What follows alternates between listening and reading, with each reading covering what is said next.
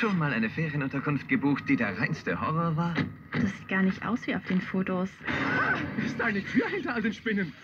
Dann probier eine App, mit der ein Happy End gewiss ist. Ah, perfekt. Alles gut, du hast bei Fevo direkt gebucht. 105.5 Spreeradio. Wetter und Verkehr kompakt. Tja, genießen Sie heute noch mal, denn heute bleibt es trocken. 31 Grad ist die offizielle Berlin-Temperatur. Ein wunderbarer Feierabend. Sonne-Wolken-Mix.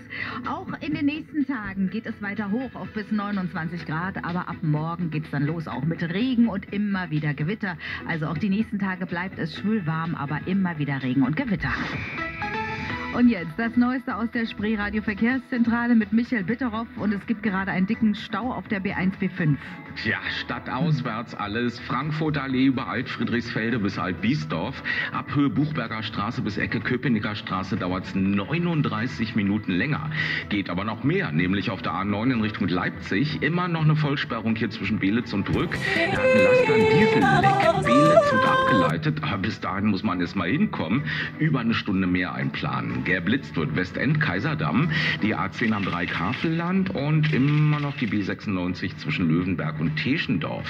Stausenblitzer hören Sie bei uns zuerst, können Sie melden unter Berlin 20 30 158. Der Verkehr wurde präsentiert von Spreewelten. Erleben Sie die einzigartige Welt der Pinguine in Lübbenau. Jetzt mehr erfahren unter spreewelten.de. 105.5 Spreeradio. Berlin Update.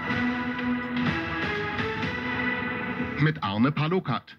Sommerferienzeit ist Baustellenzeit und da sind für Berlin inzwischen gleich zwei empfindliche Dauersperrungen angekündigt.